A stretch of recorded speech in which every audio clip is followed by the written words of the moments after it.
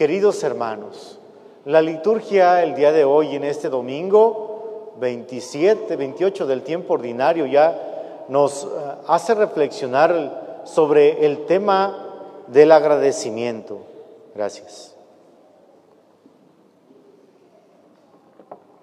¿De qué manera podemos interpretar un agradecimiento que se ve eh, en esta imagen de los diez leprosos del Evangelio de San Lucas? Primero, pues el agradecimiento de manera natural, como creo que todos lo podemos expresar, darle gracias por un favor recibido. Todos hemos recibido ayuda, favores, etcétera por parte de, nosotros como humanos. De Dios también hemos recibido. Aquí tendría que haber un corazón que constantemente esté en esa consonancia con la, con la, con la acción de gracias. Si el levantarnos día con día nos trae esta alegría del agradecimiento, gracias Señor porque este hermoso día que me has dado, porque por tu misericordia puedo seguir alabando y bendiciendo en esta vida, para poder también seguirte alabando en la que viene.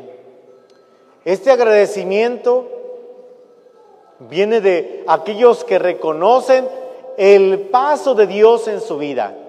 Y así ocurren estos diez leprosos que reconocen el paso de Dios en su vida y le piden, Señor, Jesús, Maestro, ten compasión de nosotros. La respuesta es inmediata. Vayan a presentarse a los presbíteros, al sacerdote. Vayan a presentarse al sacerdote. Una respuesta que es muy sencilla y que no se esperaban tan rápida la acción lo sorprende el Señor, sorprende a estos leprosos, porque en el camino todavía no llegaban al sacerdote,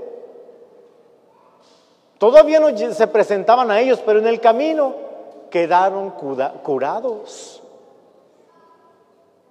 No se lo esperaban.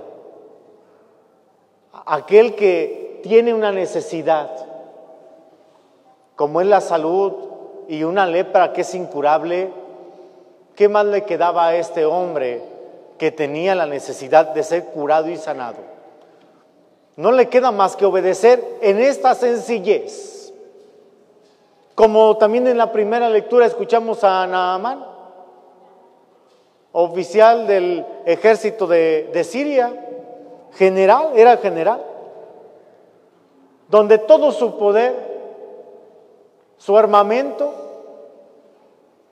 no le podían regresar la salud.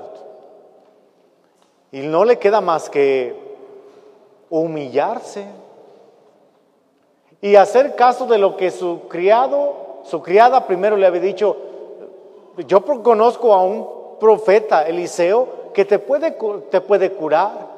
Otro de sus criados ante la insistencia porque lo querían ver sano, le vuelve a insistir, Naamán, ¿qué te queda eh, si ya no tienes nada? En tu enfermedad, aunque todo el poder que posees, mira, estás casi a punto de morir por tu enfermedad.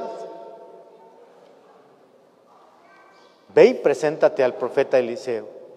Este va y todavía le dice, ve y lávate en el Jordán. lo incomprensible, ¿no? Lo, como, como el, el, Señor Jesús manda a los leprosos, incomprensible quizás eh, entender esas palabras, vayan a presentarse al sacerdote. Incomprensible como Eliseo que manda a Namán, ve y lávate siete veces en el Jordán. No lo podemos entender eso. Pero lo que sí se puede entender, yo creo que ya cuando el, ser humano se ve en esos límites de su vida y se entrega poquito a ese Dios misericordioso, puede recibir el consuelo que necesita. Lo que el ser humano necesita es la presencia de Dios en su vida. Y entonces podemos ser agradecidos, porque el Señor ha hecho su obra en mí, porque poquito me dejé guiar por Él. En medio de lo que no se entiende, se dejaron cautivar por Dios misericordioso.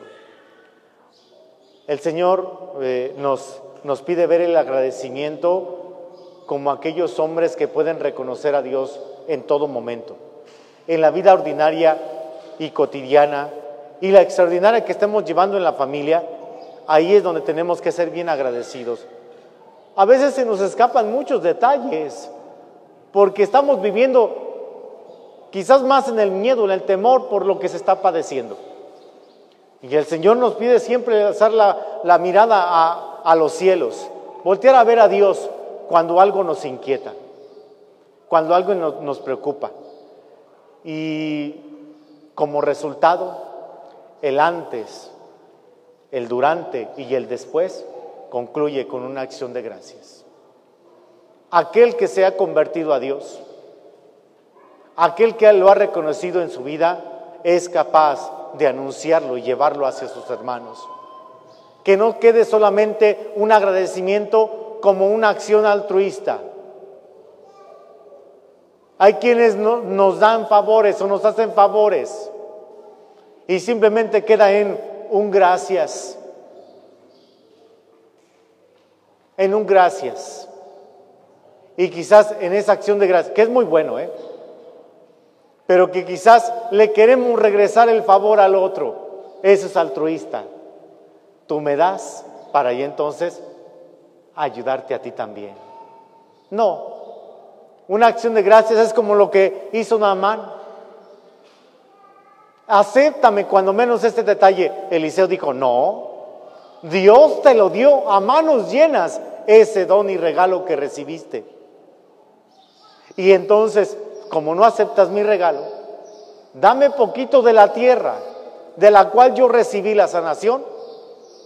Déjame llevarme unos costales y ahí con esa tierrita voy a edificar un altar para que desde ahí yo le agradezca a Dios por siempre en mi vida.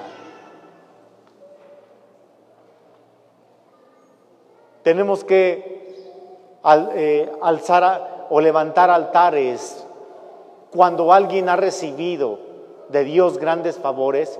No nos queda otra más que ser agradecidos como en la Eucaristía. La Eucaristía significa eh, acción de gracias.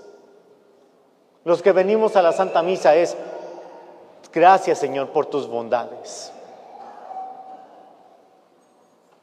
Algunos dirán, qué insignificante será una Eucaristía, ¿para qué la misa? Algunos dirán, como en el poverelo de Dios en San Francisco de Asís que celebramos en la semana, el pobre de Asís, ¿este va a reformar la iglesia? Diría Inocencio III, Papa. Este es el que va a reformar la iglesia, el pobre y el sencillo de Asís. Diría Nuestra Señora del Rosario, recen, oren por la humanidad y ahí obtendrán la salvación de la humanidad. Eso es la, sencillez del, del rosario. ¿Será la salvación de la humanidad? Algunos dirán y lo criticarán y, y se alejarán de ellas.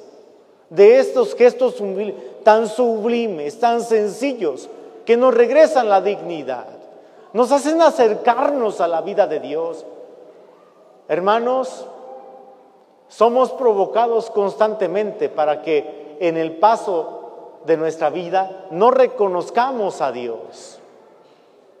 Cuídense mucho, cuídense porque desde que nos levantamos hay quien ya está levantado con un coraje. Cuídense porque eh, ya llegan al trabajo y todos enfadados. Cuídense, porque la vida de Dios, en medio de esas tormentas, hagan lo que hicieron los leprosos, lo que hizo Naamán. Respondan con generosidad a lo que Dios, al, al llamado de Dios. Cuando surcan problemas a tope y al límite, simplemente den a Dios lo que es de, Él y es su vida. No hagan el capricho personal, no hagan su propio interés. Si estamos necesitados de Dios, necesitamos corazones muy humildes y sencillos. Necesitamos pobres de Dios. Nosotros, pobres de Dios. Y si hay pobreza de Dios, ¿a poco no hay hambre, no hay hambre de Dios? ¿Tú eres pobre de Dios?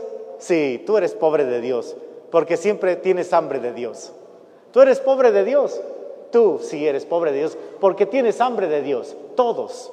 Todos, todos somos pobreros. Todos somos pobres de Dios, porque necesitamos de la ayuda de Dios. ¿Todos tenemos alguna lepra en la vida? Claro que sí. Recurramos a nuestro Dios Todopoderoso, que Él nos dará la victoria. Y así concluyamos nuestra vida. Levantémonos y vayamos al encuentro de la humanidad que nuestra fe la nos ha salvado.